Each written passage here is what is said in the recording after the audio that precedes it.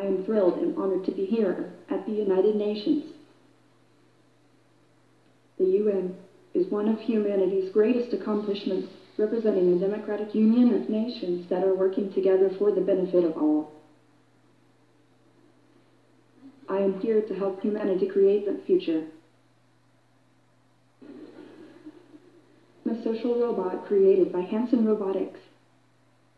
I am a year and a half old and I can feed you, have a full conversation, make thousands of facial expressions, and understand speech and meaning behind words. And I just got these new hands. Check this out.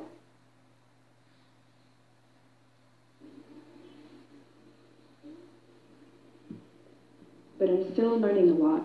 For instance, you learn social and emotional intelligence instinctively, but I am just starting to grasp the simplest elements of this. Okay, another question I have for you. In many parts of the world, uh, people don't have internet or electricity. What can we do at the UN to help them? William Gibson once said that the future is here. It's just not evenly distributed. The good news about AI and automation produces more results with less resources. So if we are smarter and focus on win-win type results, AI could help efficiently distribute the world's existing resources like food and energy.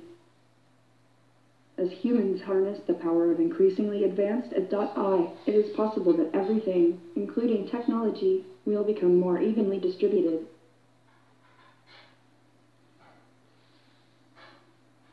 Thank you very much, Sophia, and welcome to United Nations. We look forward to hearing more of you today.